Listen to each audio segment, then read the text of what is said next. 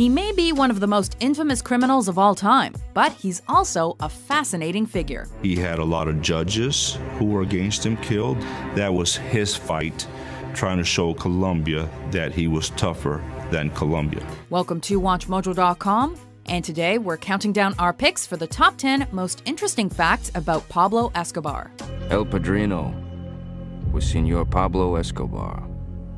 And for those of you living on the moon for the last 20 years, he was it, the boss of it all. For this list, we're looking at exciting and intriguing facts about Pablo Escobar, a Colombian drug lord who reigned throughout the 1970s and 80s and made headlines across the world due to his immense wealth, dangerous status, and revolutionary drug distribution network. However, we're not ranking the facts in terms of quality. Instead, we'll be going chronologically throughout the relatively short life of one of the world's most notorious criminals. Pablo's policy in his war against the government was called plomo o plata, which means silver or lead. You can accept Pablo's bribe or you can accept his bullets. Number 10. Colombia was violent before Pablo Escobar was born. And true to form, when the pen failed, Pablo was always ready with the sword.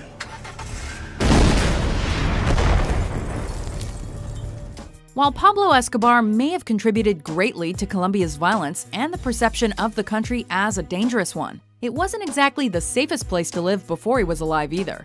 Born the third of seven children to a farmer and a schoolteacher in 1949, Escobar was immediately thrust into a hazardous society.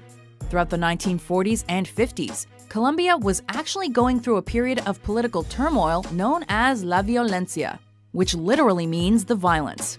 This stemmed from the assassination of Liberal Party presidential candidate Jorge Eliecer Gaitan, with the ensuing civil war claiming over 180,000 lives.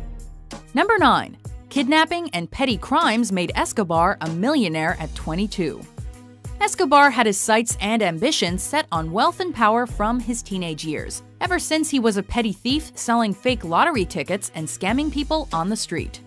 This escalated into more serious crimes in his late teens, such as trafficking marijuana and stealing cars.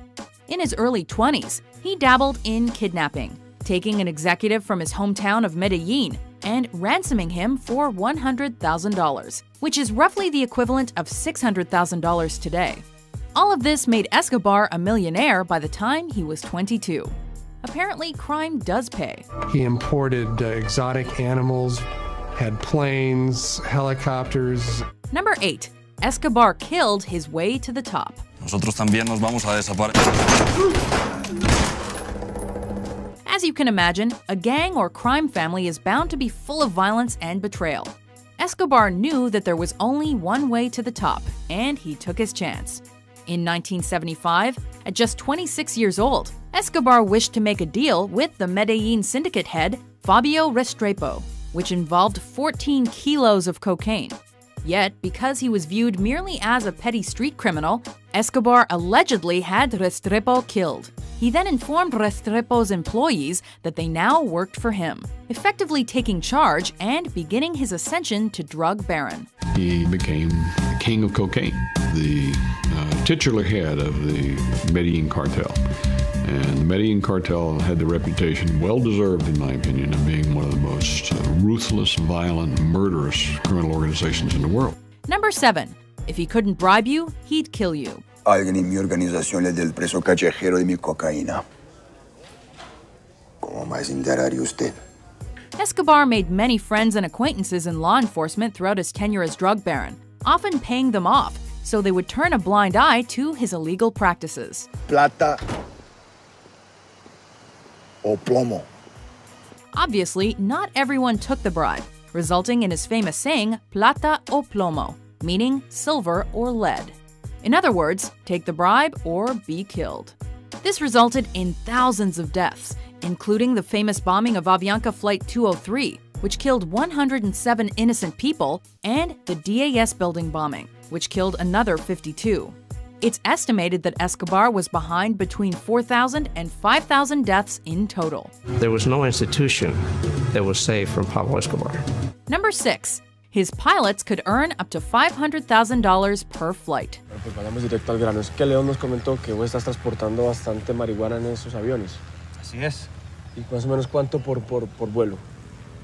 ¿A dónde? Miami. Before Escobar hit it big, he would personally fly small planes into the United States, with cocaine hidden in the tires. However, once his business took off, he began to employ professional pilots who would smuggle in tons of cocaine for him.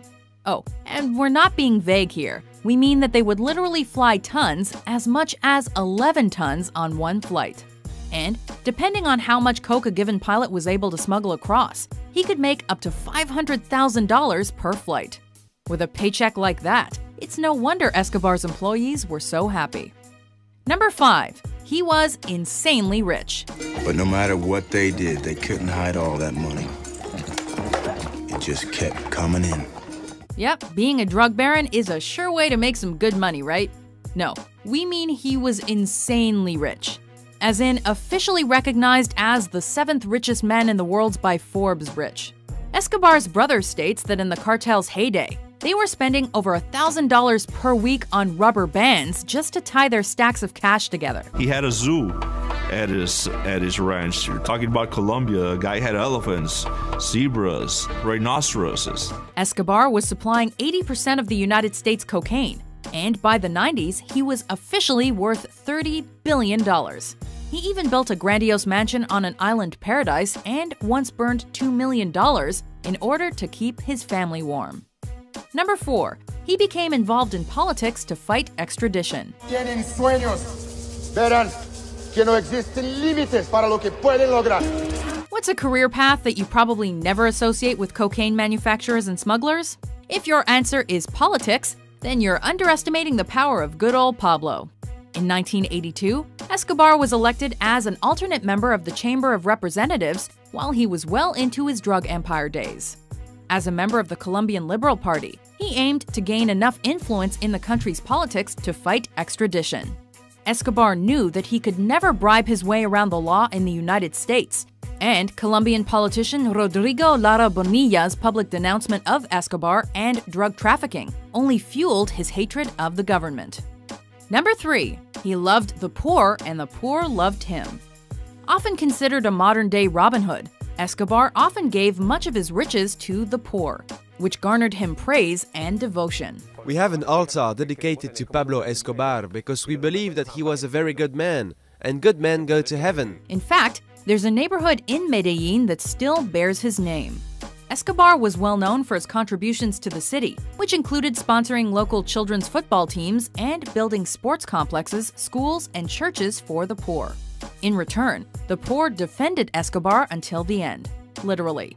When he died in 1993, over 25,000 people showed up for his funeral, many of them members of the poor who still felt gratitude for his generosity.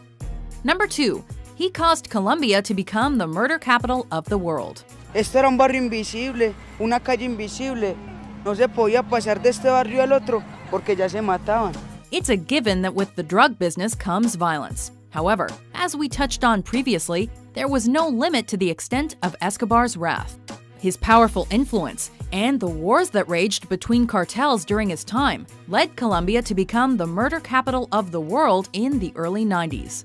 In fact, the country suffered over 27,000 violent deaths in 1992 alone, which is equal to roughly 74 murders a day. What was his punishment for all of this? A personally designed jail, complete with a waterfall, bar, jacuzzi, and personal football field. To say he got off easy is a massive understatement. And Escobar's reach was long. Barry Seal refused federal protection, he met his end in a parking lot in Baton Rouge. Whoops. Number 1. The End Game. You're facing an enemy who's trying to kill you. In those kind of circumstances, the ultimate goal is to succeed, is to win, not to necessarily play by the rules. What was the final result for Escobar? Let's just say it didn't turn out well for him. In 1992, a vigilante group calling themselves Los Pepes emerged. Fighting fire with fire, burning down Escobar's compounds, and killing family members. And when they killed Para, they also took his teenage son and murdered him too. They hung signs around their neck that said, What do you think of the exchange for the bombs, Pablo? U.S. intelligence agencies began working with Colombian forces, and through radio triangulation technology, they were able to locate Escobar in Medellin, which ultimately resulted in a shootout across rooftops in 1993. While Escobar was fatally shot through the ear, it is still disputed whether the bullet came from the authorities or whether he pulled the trigger himself. Whichever the case, maybe crime doesn't pay after all. So, did you learn something new about Escobar? Did we leave any interesting facts out? For more informative top 10s published every day, be sure to subscribe to WatchMojo.com. Bueno, let us speak no more of this business. Let's go for a drive. We have many other things to talk about.